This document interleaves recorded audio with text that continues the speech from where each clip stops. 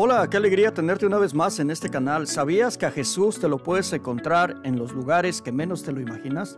¿Quieres saber cómo pasa eso? Quédate con nosotros.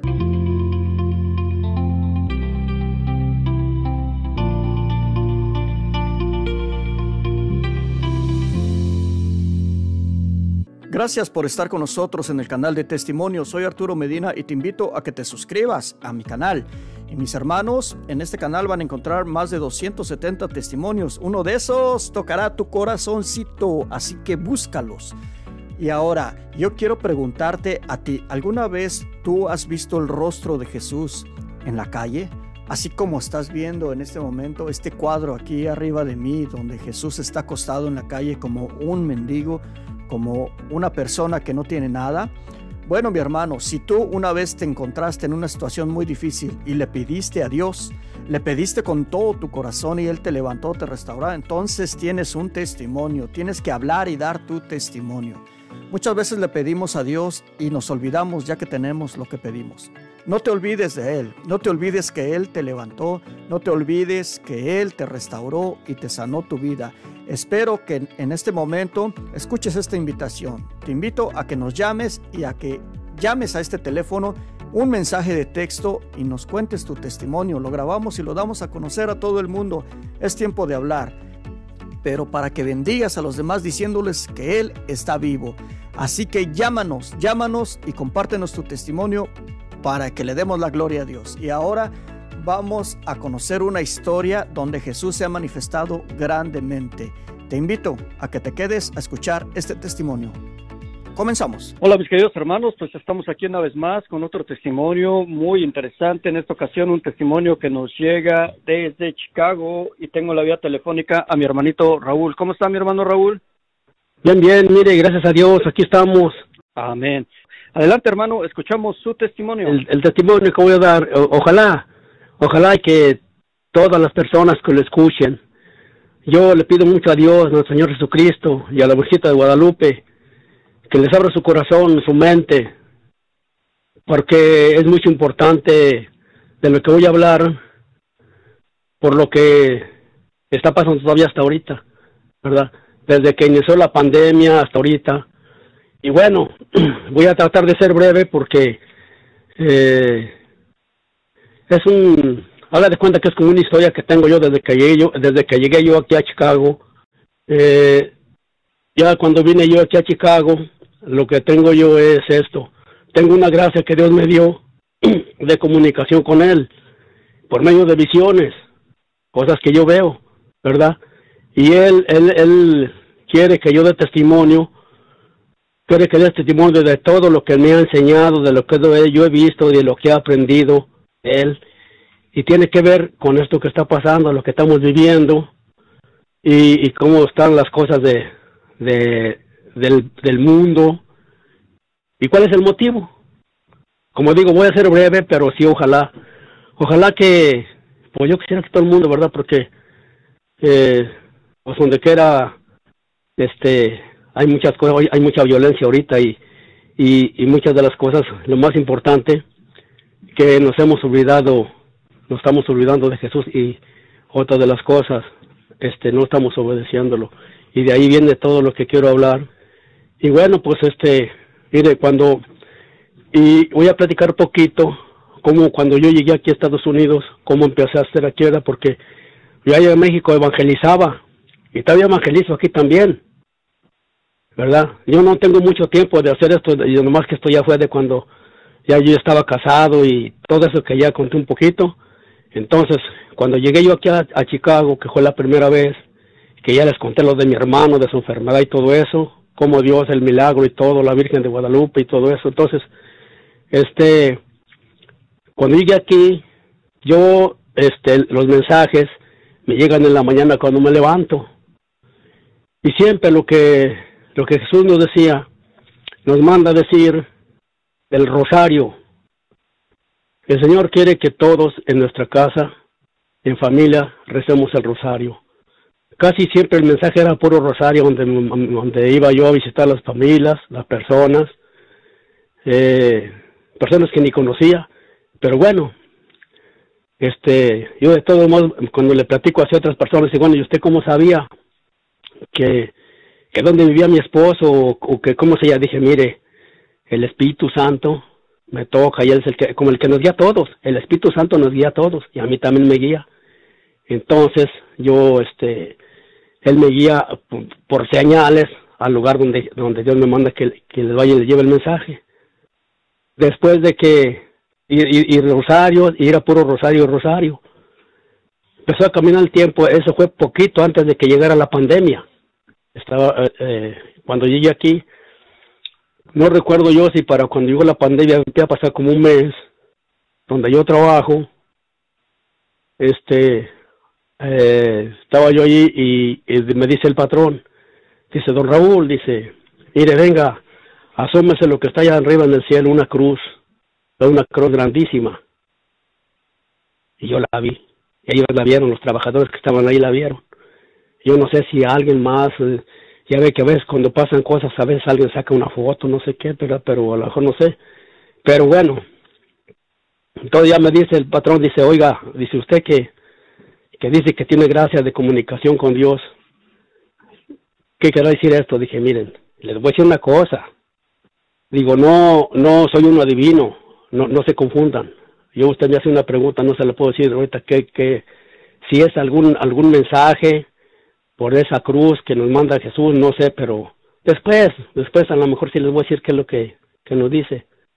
Y bueno, yo me pongo en oración con Jesús todo el tiempo las tardes cuando llego de mi trabajo, me rezo mi rosario, después me pongo en oración con Jesús y le hago la pregunta a Jesús.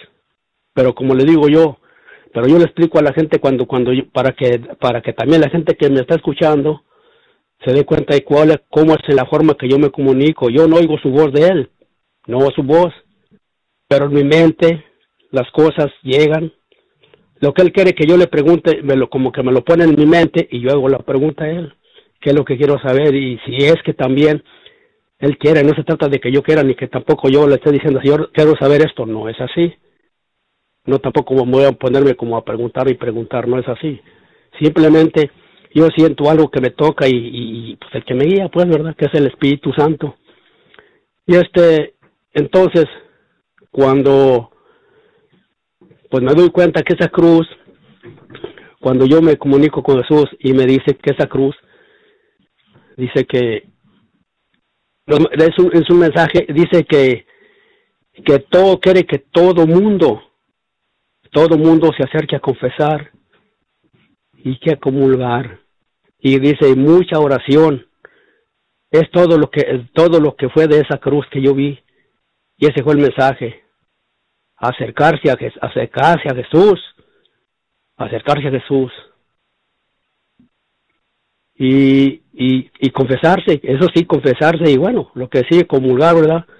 Y principalmente nos habla de mucha oración todavía la pandemia no llegaba. Como que habrá allí. Bueno, pues, pues Dios, Jesucristo, nuestro Señor Jesucristo, Él sí sabe lo que hay en cada uno de nuestros corazones, qué hay dentro de nuestro corazón de cada uno. Y, y, yo, y, ahí yo me, quedaba pensando, dije, a lo mejor es por eso a cada quien le da, le da su, como le dijera, su tiempo para que eh, hicieran los rosarios.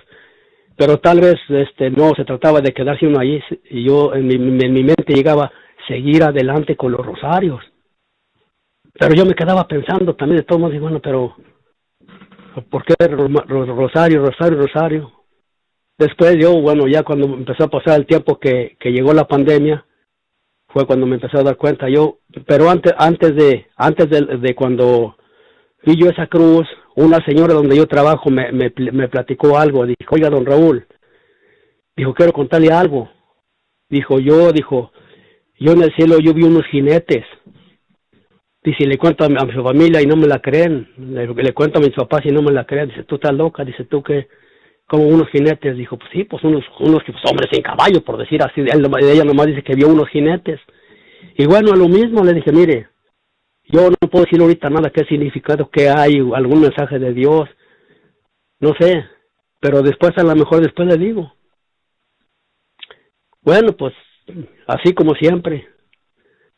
Y, esos jinetes, me dice Jesús que son los sus ángeles que mandó a, a, este a supervisar la tierra.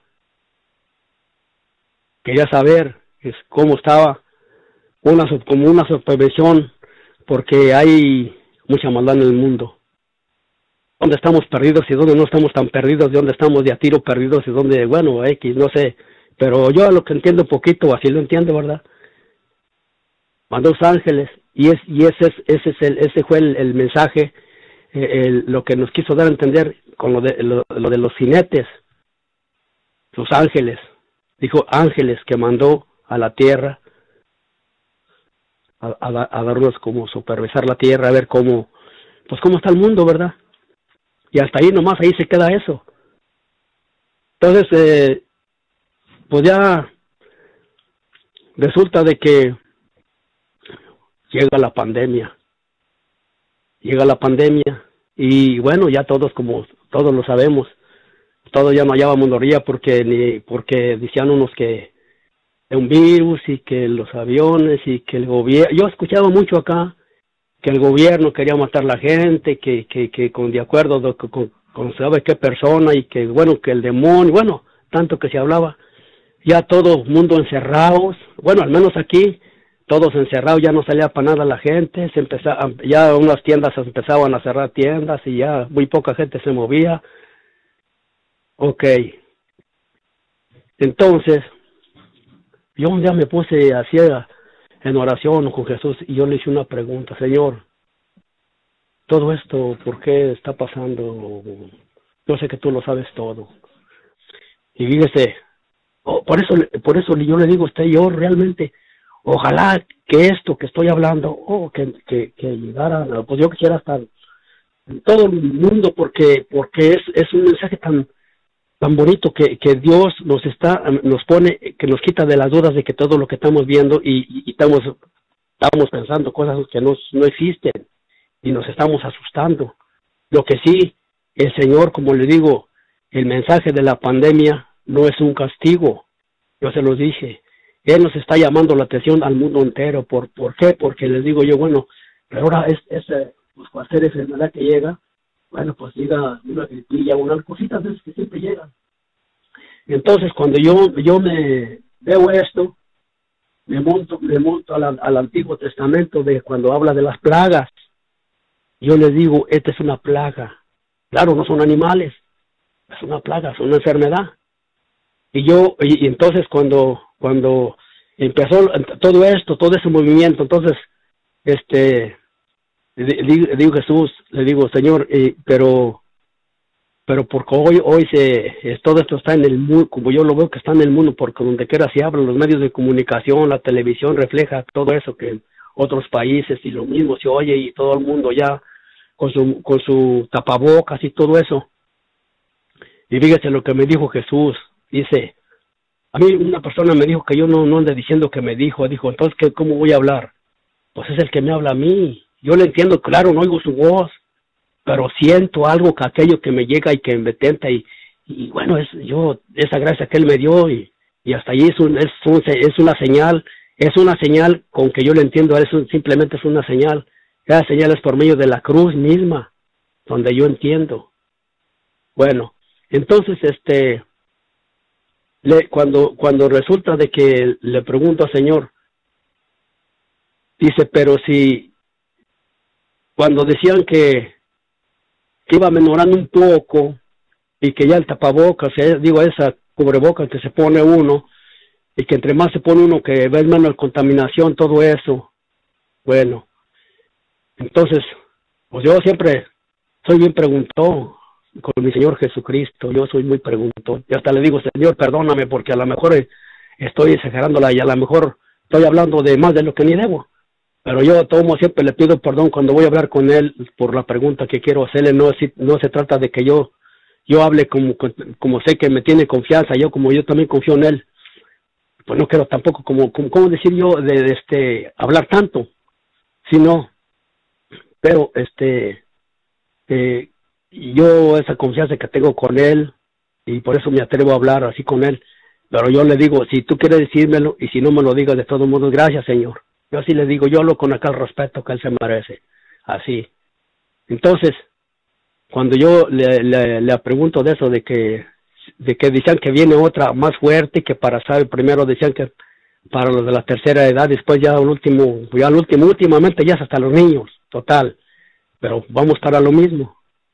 Entonces, me dice, le, le pregunto a Jesús, le digo, Señor, y, y, esto que dicen que de otra pandemia que me dice Jesús que no, dice, dice, es la misma pandemia, es la misma, no es, no es otra, no, no hay otra, no se ha ido ni, ni ha regresado, está en lo mismo, simplemente lo que está pasando es que si, si la gente está cambiando, la gente está yendo a misa, la gente está obedeciendo a Jesús, que se están animando a confesar, que se están poniendo oración, entonces claro que la pandemia se está reduciendo las enfermedades, porque ya la, la gente ya, sí, la que está entendiendo porque yo voy, yo voy, yo voy a misa y yo realmente, yo, yo, yo se lo, se lo digo hermano y escúchenlo todos los hermanos que escuchen, o que escuchen esto, estamos muy mal nosotros, nosotros, nosotros somos los que tenemos la culpa que pasa todo esto.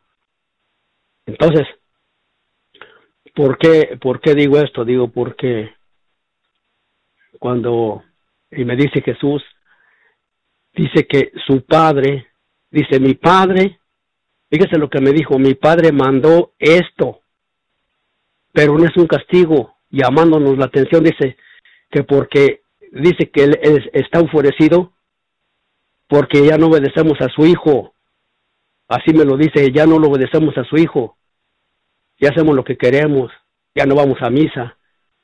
O sea, andamos distraídos todos. Yo, yo bueno, al yo puedo decirlo porque gracias a Dios yo tengo años que no dejo ir a misa. A lo mejor si fallo un que otro día, pero muy retirado. En caso de que, pues siempre no falta que pase, ¿verdad? ¿Para qué voy a decir que no fallo? Pero trato de no fallar. Y yo pues veo los templos antes de que llegara la pandemia.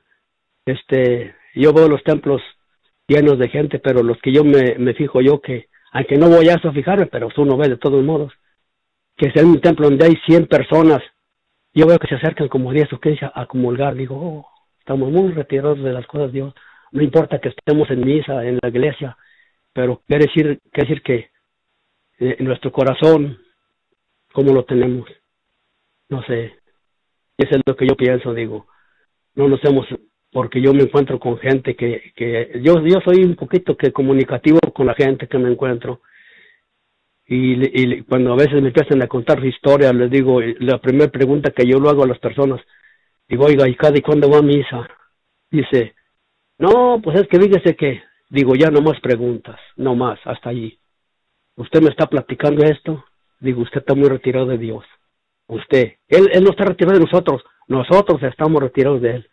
Porque si usted ni siquiera va a misa, se no está cumpliendo, no está cumpliendo con los mandamientos que, Dios, que Jesucristo nos dio, los mandamientos de los sacramentos de la iglesia, no está cumpliendo. Los mandamientos de la iglesia no está cumpliendo. Dije, ahí estamos bien mal. O sea, no estamos obedeciendo a Jesús. Entonces, ¿cómo queremos todo muy bonito si ni siquiera nos acordamos de Él? Ni siquiera vamos a su fiesta, donde Él nos invita cada ocho días, no vamos. ¿Mm? No vamos a disfrutar del banquete del Señor. Entonces, ¿cómo queremos todo bien bonito? O sea, es poco, les platico un poquito así, bueno, eso no está dentro de lo que iba a hablar, pero bueno, un poquito de lo que, cómo soy yo con la gente. Con cualquiera que me encuentro así, o visito a alguien en la familia y, y siempre ya cuando acuerdo ya tengo el tema de hablar de Dios y de Dios y bueno, ya no sé, pero así soy.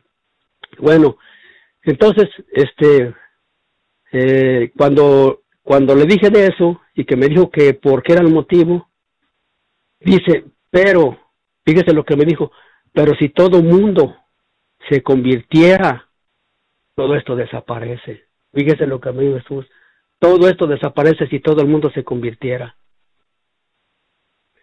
Para Dios nada es imposible. Dios es bueno y misericordioso. Dios nos ama. Dios nos ama en grandes, en grande. ¿eh? Y aún así también, como les digo, yo sí les digo, castiga.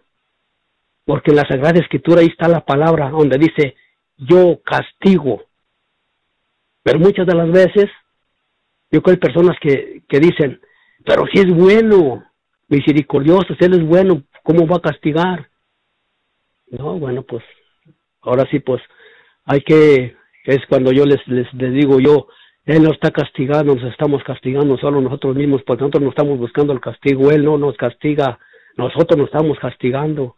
Cuando nos llegan las cosas malas, cuando nos pasa algo que nos duele, eh, nosotros mismos nos estamos, nos estamos castigando, Él no nos está castigando. Hay que entender eso. Y bueno, pues seguir caminando. Pero también otra cosa que cuando, cuando yo le, cuando yo estaba platicando de eso, de, de que decía, decía la gente que el gobierno y que, y que el demonio estaba involucrado eso, lo que sí me dijo Jesús, dice que, dice que es, esta, este momento de pandemia, dijo que el demonio, fíjese lo que me dijo, el demonio va a aprovechar el momento porque va a hacer las que él, las que él quería hacer. Y fíjese que yo lo estoy viendo, a ese punto quería llegar, yo lo estoy viendo yo mismo.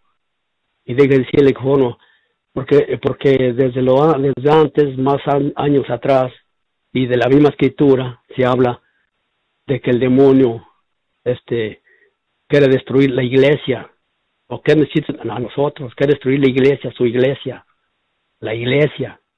Entonces, ¿qué está pasando? ¿Qué pasó cuando, pues que cerraron los templos? ¿Qué pasó ahí? ¿Quién estaba dentro de los templos? Está Jesús. Ahí está. Eh, ahí está, ya no, ya no podemos entrar a visitar, a visitarlo. Al Santísimo ahí está. Ya no podemos visitarlo al Santísimo. Yo llegué nomás a, a romarme así por afuera de la puerta y allí pues hablar con él, pero por acá, por afuera y usted sabe que un tiempo, no, no, después pasó un tiempo, o no recuerdo cuánto tiempo, no hablo así nomás de tiempo. Y este, y, bueno, pues empezaron a empezar como de poquita gente a ir a misa, pero contados también, porque hasta los debían ahí, ahí apoyan un anuncio, nada más cuántos pueden entrar y cuántos ya no, y todo eso. Pues bueno, como que era. Pero ¿qué pasó allí? Cerraron los templos y me acordé de lo que de lo que me dijo Jesús que el demonio iba a aprovechar el momento para hacer de las de él y esa fue una parte yo creo sí verdad pero como que puedo decir que es cierto cerraron los templos por miedo a la pandemia por medio de la contaminación.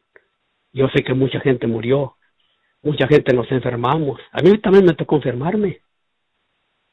Pero mm, hay, mucho, mucho, mucho que hablar yo de, de todo eso, cómo pasó y entre mi familia pasaron tantas cosas increíbles pero ciertas y de lo que yo hablaba en mi misma familia pasaron muchas cosas y no había de haber pasado. Eso después otro día si hay tiempo. Tengo mucho que hablar de todo eso. Porque que la gente que me escucha ojalá y, que todo esto se lo graben bien y en su corazón. Y también para los que lo escuchan. Y, que no tengan no, no, no, no tengan miedo porque pronuncio, pronuncio yo la palabra demonio. Porque es el que el que anda ahorita haciendo de las de él. Deje decirle por qué. Mire cuando cuando me fijo yo yo por la misma pandemia estamos recibiendo la comunión en las manos hermano Arturo hermano Arturo y señores que me escuchan, hermanos del mundo, eso está bien mal, me dice Jesús que están bien mal, estamos bien mal con eso que estamos haciendo. Lo estamos ofendiendo mucho, mucho. Es una ofensa que le estamos haciendo, fíjese todavía más, fíjese lo que nos dice. Todavía, todavía es más mal que de las personas que abortan. ¿Cómo será eso? El pecado grandísimo que estamos cometiendo ahí. ¿Y por qué? ¿Por miedo a qué? Le digo, ¿miedo a qué? ¿A morirnos? Si somos de Jesús, somos de Dios. Él nos va a recoger el día que Él quiera. Y si por medio de esa pandemia Él nos lleva, pues, por ni modos. Él es el dueño. Nosotros somos de Él. ¿Por qué miedo a morirnos? ¿Eh? Entonces, yo me veo todo esto. Y como Jesús me lo dice por esta yo platico mucho aquí con mi esposa, ella y yo nos agarramos platicando diario, hacemos comentarios. principalmente tenemos hijos, que sabemos que no están tampoco exactamente como nosotros queremos. Porque el malo, el, el demonio, anda como que, como le dijera, quisiera acabarnos a todos. Porque castigos, porque porque él está aprovechando. Y, hermano Arturo, ¿cuántos, cuántos personas murieron sin confesarse que fueron de un día para otro? Simplemente se enfermaban y los llevaban al hospital y aún no aguantaban, ya los sacaban muertos. ¿Cuántos se fueron sin confesar? ¿Cómo estarían? No sabemos, pero fueron miles de los que se habla. ¿Dónde estarán esas almas esos que murieron? Unos estarán con Jesús, otros estarán en el purgatorio, otros estarán con el malo, no sabemos, solamente Dios sabe. Pero sucedieron las cosas y, y, esto todavía no se acaba. ¿Por qué esto no se acaba? Déjenme decirle por qué. Mire, dicen que de los que ya se enfermaron, total, hubo, hubo tales vacunas y todo eso. Y, y, y, y pues que de, a final de cuentas se siguen enfermando otra vez. Yo les digo, y es una cosa mía que yo digo, pero ¿por qué te enfermas otra vez y ya te aliviaste, ya no otra vez? Te contaminaste otra vez, le digo, mire, si tú te, si, si tú te enfermaste y el Dios, Dios te dio otra vez tu sanación, te llamó la atención a ti y sin embargo no entendiste. ¿Qué te quieres entender con eso? ¿Ya fuiste a misa? ¿Ya te animaste a confesar? No hiciste caso. Estás en oración, no hiciste caso. Pues te ataca otra vez la mental enfermedad, te vuelves a enfermar de nuevo. Porque el, el, el Señor, tanto que nos ama, tanto ese amor que nos tiene, tanto así que todavía dice, mi hijo, te voy a dar otra oportunidad. Y esa otra oportunidad que nos da, es esta oportunidad que nos da. Y todavía no lo estamos, no estamos haciendo lo que Él nos dice. Bueno, mi hijo, entonces no te dolió, pues ahí te voy otra vez y más fuerte. Entonces todavía tal vez se muere uno que otro por lo mismo, porque no estamos entendiendo. Y todavía los que, los que estamos aquí vivos todavía, los que nos estamos dando cuenta, ¿qué estamos haciendo? ¿Qué les decimos a nuestros hijos? ¿Cómo lo estamos guiando? ¿Cómo lo estamos, cómo, qué, eh, qué mensaje les damos a ellos? ¿Qué les decimos? Ese es el problema. ¿Qué estamos haciendo los que nomás lo vemos y lo que está pasando? ¿Y, qué estamos haciendo? Mis hijos, vámonos a misa. Yo veo casi lo mismo.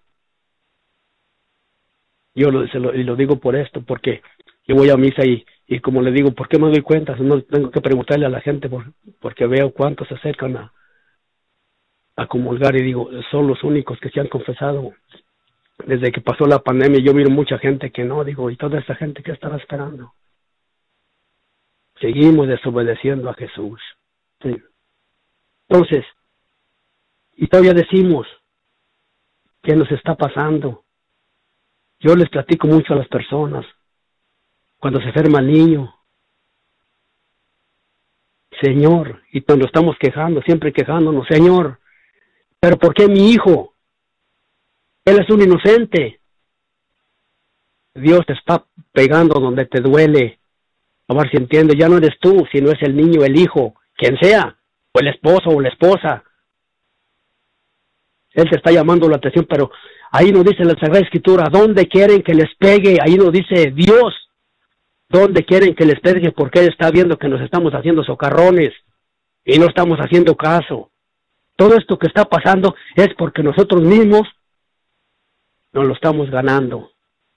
Porque no estamos haciendo, no estamos obedeciendo y seguimos viendo todo esto y estamos igual todavía. Yo no digo que muchos no se hayan acercado ya a Jesús, yo no digo que no, no digo que, no, pero son pocos, por lo que yo he visto ya cuánto tiempo tenemos con esto y seguimos y seguimos. Pero aquí, aquí a lo que voy, más principalmente lo que dije yo de, y lo que digo, lo que ya no quisiera ver, bueno, yo no soy nadie para decir, para juzgar, Pero yo ya no, yo ya, ya no quisiera ver que, que la gente reciba, a, reciba la, la, la comunión en las manos.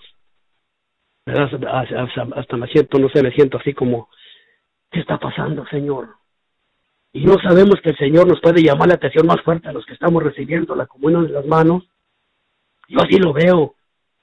Nos va a llamar la atención fuerte. Todo lo que está recibiendo la comunión en las manos nos va a... Y recuerdo que yo, yo una vez escuché un sacerdote. Yo escucho también misas que veo en el, en el, teléfono también. Eh, no sé, pues de repente estoy buscando y ahí está, digo, pues lo veo, ¿verdad? Yo escuché un padre que dijo, no sé, nomás que no sé de qué parte, y, y habló de eso. Dice, aquí en mi comunidad no he sabido que se muera nadie del COVID. ¿Por qué? ¿Y por qué nada más aquí no? Porque ahí el Padre está trabajando bien. No les está dando la comunión en las manos, sino en la boca. Él está dando la comunión en la boca. Y por eso mismo sigue pasando lo que sigue pasando, porque seguimos ofendiendo a Jesús. Yo les digo, yo esa pregunta se le hice a Jesús, porque yo escuchaba todo eso. Hay, hay, hay padres que están hablando, los sacerdotes están hablando mucho de eso. He escuchado padres que están hablando eso de no estar, no recibir la comunión en las manos. Pero yo sigo viendo, al menos aquí, donde yo voy, no todos, porque yo he visto que el, padre no se los niega, el, que pone, el, que abre su boca, pero otros ponen sus manos y el padre ahí se las pone. Ahora sí ahí yo no puedo saber si los padres pueden decirle, ya no les voy a dar la comunión en las manos en su boca, ya no pongan sus manos porque cuando manos se las voy a poner allí, o quede sin, quede sin comulgar. Pero eso sí ya no me meto yo en eso, ya es cosa personal de los padrecitos, sacerdotes, ellos saben lo que, lo que tienen que hacer. Sí. Entonces, este, veo todo esto. Después, veo este una ola muy grande que se levantó en, en, el mar, grandísima. Y en medio de esa, de, en medio de, esa, de esa ola, lumbre, una, una ola grandísima. Y pues, lo mismo como siempre, la preguntarle a, a nuestro Señor Jesucristo es alguna señal que nos manda Él. Me dice que sí. Dice que va a, va a castigar al, al, al con lumbre y con agua. Y si me lo dice, creámoslo. Yo, yo, yo ojalá y que esa gente que me está escuchando y que me escuchen, lo crean, lo crean. Ya sé que a lo mejor si hay sacerdotes que se van a dar cuenta de lo que estoy hablando, pocos hasta me buscan y me dicen, van a decir, usted que anda hablando esas cosas, asustando a la gente.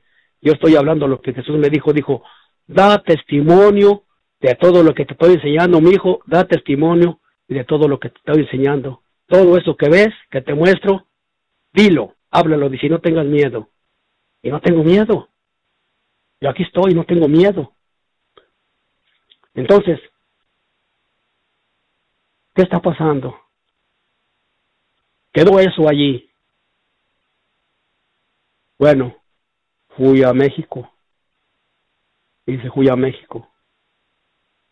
Ese fue un sueño que tuve allí en mi casa, yo un sueño. Y claro que dice que no hay que creer los sueños, pero la misma escritura dice, a no ser que venga de lo alto, o ya que venga del Todopoderoso ese sueño que tuve yo, este un caso de lumbre que salió de la tierra, como llamas. Fue una parte que fueron dos llamas, una que venía del norte a sur y otra que venía del poniente a oriente. Casi se iban a encontrar juntas las dos. Haga de cuenta que un tramo de llama como de, vamos hablando como de unos 15 metros de largo, como de unos, unos unos tres o cuatro de ancho, pero el hombre iba caminando, iba caminando, y se veía atrás, atrás de esa lumbre, ya que iba quedando como puro carbón, las dos. Ese fue un sueño, e, e, ese fue un sueño que tuve en, lugar, en un lugar, en, esa parte estaba yo donde vivían mis abuelos, en el rancho donde vivían. Ahí estaba yo en una casita donde vivían ellos antes, era donde ellos sembraban ahí estaba yo, bueno, ese un como le digo. Y, la, los cuartitos, los cuartitos que había allí ya no están, pero yo los soñé todavía cuando estaban esos cuartitos allí. Eran de adobe, pues la gente, en aquellos tiempos, pues la, gente pobrecita tenía casitas de adobe. Y, y ese sueño, y lo que pasó, venía caminando esa lumbre. Entonces, en un lugar estaba un, no, no recuerdo si era uno de mis hijos, pero había otra persona. Y yo vi esa lumbre y dije, vámonos, córrele porque ir a esa lumbre, miren, nos va a quemar. Entonces corrimos y nos, metimos allí a, los cuartitos de adobe que estaban allí. Y, luego parece que había como una bicicleta allí y yo dije, no, pues en la bicicleta para, irnos más rápido. Pero íbamos a correr al monte, a lo de donde no iba la, donde no alcanzaba la lumbre. Y entonces, este, cuando en eso estaba yo que le monto la, a, la, a la bicicleta y en eso viene la lumbre y aquí no ya cerquita de nosotros y pasa por un ladito de nosotros, haga de cuenta que pasó por un lado de nosotros y al máximo de retirada como un metro, fíjese. Y esa lumbre grandísima pasó allí. Bueno, pasó y ahí se acaba el sueño. Ahí se acabó el sueño. Entonces, pues como siempre, hermano Arturo, como siempre, me pongo en oración la tarde y le hago la pregunta a Jesús, Señor, Perdóname por la pregunta, pero si este sueño que tuve, si es algún mensaje que tú nos mandas. Dice, sí. Dice, así como viste tú, dice, voy a castigar a la gente, a los malos. Dijo, los que realmente ya no me obedecieron, porque se le está dando esta, esta es otro, esto de la pandemia fue otra oportunidad que se está dando porque me dice Jesús, Dios quiere limpiar la tierra de maldad, no es el fin del mundo. Dios quiere, dice que Dios su Padre quiere limpiar la tierra de maldad y por eso pasó esto. Yo no sé si hablan muchas cosas de que algo viene, no sé qué, ¿verdad? Pero mm, escucho, pero de eso yo no hablo porque yo ahí no, no, de eso no sé nada, simplemente escucho sacerdotes que hablan así como usted también que hablan de, hay testimonios que escucho yo, testimonios de otras gentes que también tienen visiones y todo eso, y los escucho también, y, y, y qué bonito porque uno está conociendo más y más. Le digo a mi esposa, le digo, está bien que tú escuches todo eso, porque de eso hay que seguir también hablando con las demás personas que yo creo muchas personas ni, ni no les ponen atención a esto. Por ejemplo, en, en ustedes que, que dan esos testimonios, todo eso que hacen ustedes, ese trabajo tan bonito que hacen, este, qué bonito es lo bonito. Digo, yo tengo una palabra que digo, qué bonito es lo bonito, todo lo que de Dios es bonito. Entonces, eh, eh, cuando pasa esa lumbre, le pregunta al Señor, dice que así, pero ya ve que como luego decimos de no pagar, en aquellos tiempos, en aquellos tiempos, de cuando se habla de, Sodoma y Gomorra, que Dios este castigó a unos pueblos, a esos pueblos que había mucha maldad.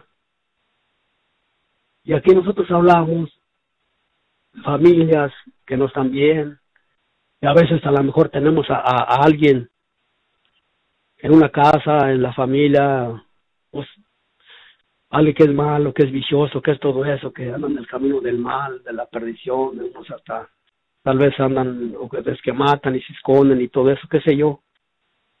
Entonces, cuando pasa, cuando pasa esa lumbre allí, lo que me dice Jesús. Dice, a ti no, a ti, o sea, que ¿por qué a mí no me alcanzó la lumbre? Porque a, mí no me quiso castigar, porque no lo merecía el castigo.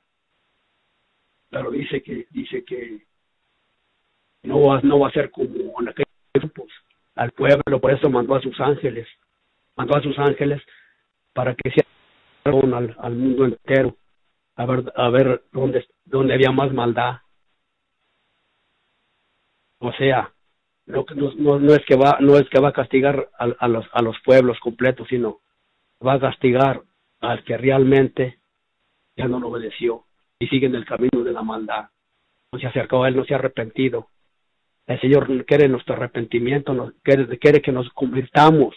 Él nos quiere, quiere que nos convirtamos todo el mundo. Nos está dando la oportunidad todo el mundo, hasta los más malosos le está dando todavía la oportunidad los que matan, los que roban, los que violan, los que secuestran, todos esos, toda esa gente que anda en el camino de la maldad. Todavía dice Jesús, Dice, si te sientes el más pecador del mundo, acércate, mi hijo, te estoy esperando. Pues nos sigue esperando. Y esto es una de las cosas que nomás dice, porque lo que me dice Jesús, que está enfurecido contra el mundo entero porque no respetamos a su hijo. Ese, ese, ese, es lo más que escuchamos, sí es cierto, eso sí es cierto. No lo respetamos, ya no estamos cumpliendo ni con los... Hay, hay muchas personas que no bautizan ni a sus hijos hasta que crezcan, que para que ellos mismos, que ellos mismos busquen sus padrinos y que para que sepan para qué los, los bautizan. Fíjese, o sea que el mundo anda, no sé, pero yo simplemente yo escucho de los otras personas, de los testigos de Jehová y todas esas personas, casi no los escucho, más que ver así que de lo que a veces se habla, ya yo escucho muy, muy seguido al padre Toro, el que también sale ahí, cómo habla y cómo, qué bonito y todo eso, que cómo le echan a ese, a, ese padrecito, cómo le echan, cómo le cargan los otros, de las otras creencias. Y bueno, pues, es como, ahora sí como dices, es la lucha del, del bien contra el mal, ¿verdad? Y, y yo les digo, eh, ojalá, ojalá y que, ojalá y que esto que acabo de, decir, y principalmente usted, hermano Arturo, más, más, más lo que eso de, la, recibir la comunión de las manos. Yo siento que todas las personas que seguimos haciendo eso, nos va a llegar un castigo muy fuerte.